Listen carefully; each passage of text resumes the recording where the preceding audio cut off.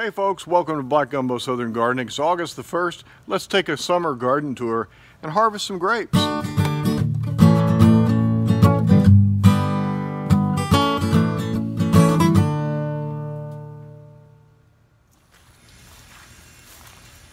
some peppers. Harvest is coming in and I've been harvesting a whole lot of peppers, especially uh, jalapenos these days. And uh, yeah, the rain has been really good for the garden and it really helped my summer garden kind of get a last oomph in before the, the heat of August and September really zaps the garden. Unless we just get a wet summer, that's usually the way it goes here. But yeah, I'm getting some harvest. I'm real happy about that. I have been harvesting a little bit here and there, uh, peppers especially uh, peppers that I dry, lots and lots of these uh, Christmas lima beans. In fact, I've spilled some of them back there. I was able to get some pumpkins from my Kogiku pumpkin. Um, three of them here, but I harvested about seven of them. This was my last zucchini, and these are my uh, seeds from my muscadine grapes that I've been keeping. And uh, yeah, it's been a real nice, uh, a real nice harvest for the summer eating most of it and using it. Somebody had asked to see my elderberry plant, my bare root that I had planted. Well, there it is. It's uh, growing just fine here and uh, looking healthy. Lots of branching here. It's going to be kind of a bush uh, rather than a tree. You can see I've got a couple of stalks or a couple of main stems, three of them, four of them actually coming up there. So this will grow in more of a bush pattern and uh, that's okay. I don't mind that. One thing you want to do while this is still be being established is when your grass sends all its runners out into the little soil around, around it here, pull that stuff out. That's the whole purpose of these bricks is to give me a border where I can clear out where the lawn is competing with my tree. The last day of July, so this is the end of July, August 1st video uh, tour of my garden. And I haven't been posting much lately, as you've noticed, because it's just too hot and there's not a lot growing right now. But I'll show you what is growing. Um, the things that are growing are growing well. Um, I've shown you before my great lima beans that are doing fantastic. They look like a jungle. Um, eggplants are still thriving and now that it's so hot I don't have any trouble with spider mites.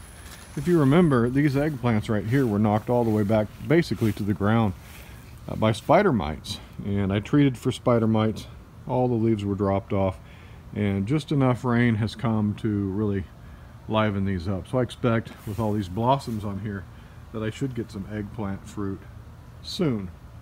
We'll see. Steve, the stevia plant has finally died in this little pot. We were afraid it would. Samuel and I planted this. That actually might be a little stevia coming up there, but I doubt it.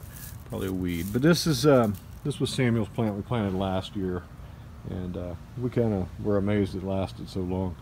But all the other little pots over here are doing fine because of the rain we've had lately. All that time, the peppers, uh, everything's looking good that's in pots currently. Got some more peppers over there. I've kind of moved things around because I had roofers come and needed to get these out of the way. Uh, my squash that survived the spring garden um, was knocked back by all kinds of things. Um, it's looking kind of sad because the sun has beat down on it all day, but in the evening it starts to perk up.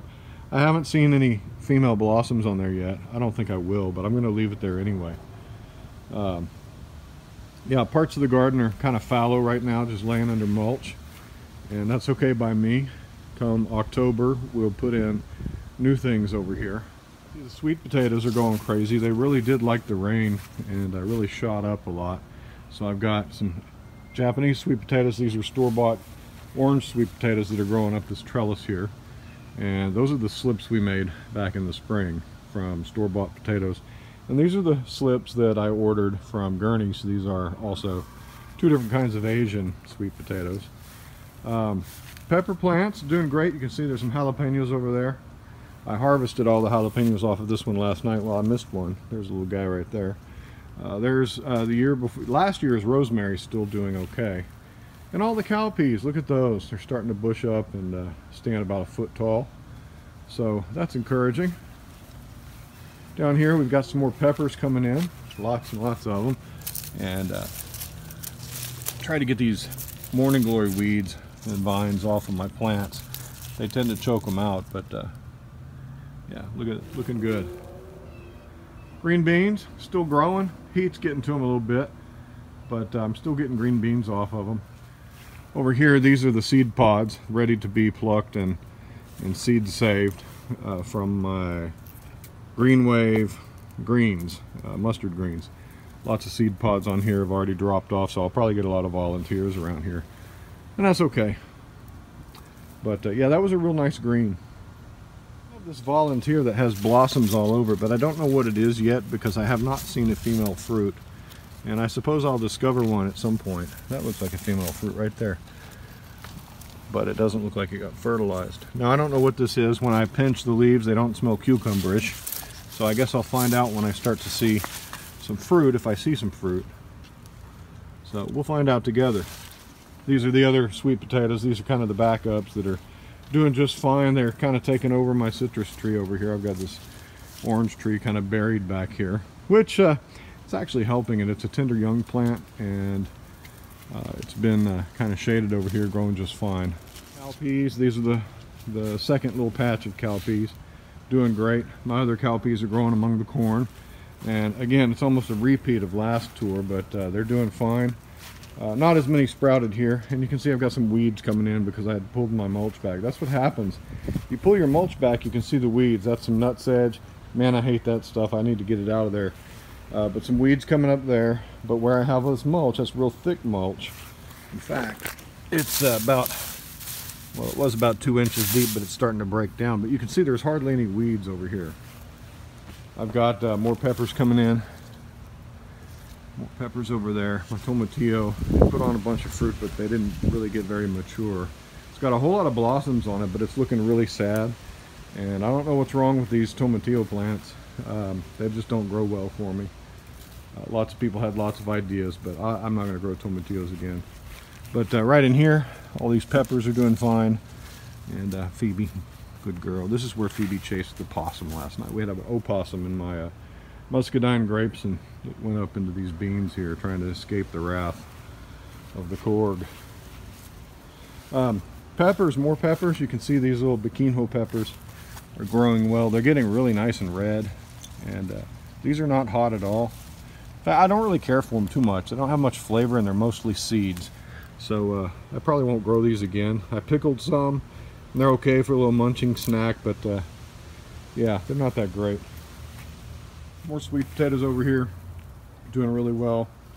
Uh, refugee um, peppers, doing really well. Yeah, we had a lot of rain, so everything's really lush. there's a beautiful Olympian fig ready for harvest. So we'll pluck that one. Got another one over here that's ready, but it's kind of had some bug damage. It's got a spider living right there, but the rest of it will be okay. But that one's the nice one. The birds have eaten all the rest of these figs, and the ones that are coming in probably don't have enough time to make it to the end of the season. Most of my figs have put on fruit, not all of them, but most of them, and uh, between the birds and I, we've enjoyed uh, some nice figs this year. I've got a few more over here that are still uh, still working their way to produce some figs. In fact, that one not quite ready. But uh, yeah, the figs have done well this year. Star of the summer garden right now are the grapes. My muscadine. Samuel and I are going to come harvest these because the squirrels found them and uh, the opossums have found them. And so if I want any, I need to get them in now. Uh, there's one right there. So, so ripe they fall off the vine. These are delicious. And the ones you drop, don't worry about them. Right. But you want the soft ones. They've got to be soft. If they're still a little red, don't pick them, okay? Okay. Aha, here's what we're looking for right here. All of these are good. Yeah. I saw those on the way over. Oh my, there's a giant cluster of Yeah, darker ones are usually kind of plump. Mm -hmm. Oh, found a massive cluster of them back here. Good. On this other vine. Alright. Down that. Stop. The thing about these kind of grapes is that we don't pick the whole bunch. They grow in small clusters rather than big bunches like traditional grapes. Yeah. And so we pick we pick them basically individually.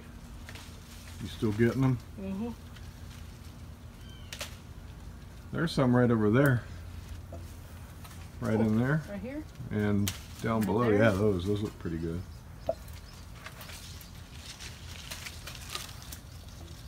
That's about what we're looking for when we harvest. Nice dark and shiny and they kind of just pop right off when you, you give a little tug. All right, I think that's enough for now. All the rest of them need to be, here, let's put them together. What do we got? Put those in here.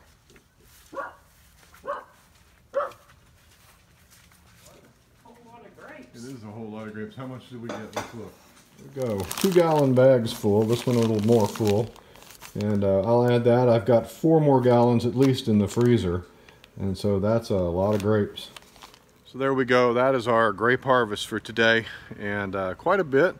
And that's not even our light colored grapes. That was just our two dark colored vines. And the first harvest. So uh, pretty impressed. Got a, got a uh, good amount of grapes there. I'd weigh them, but I broke my kitchen scale. But um, thanks for joining us today. Uh, like us on Facebook, like us on Instagram. Uh, follow us here on YouTube. We're not posting but maybe once a week right now until our fall gardening really gets going in earnest. Later on this month, we're going to start talking about that. And then um, at the end of this month, we're going to sow seeds for our fall garden and we're going to plan out our fall garden and through September, we'll be talking about how to get ready for growing in Zone 9A during the fall. So stay tuned for that. Our videos will ramp up at that time. In the meantime, happy gardening to you. Talk to you next time. Bye-bye.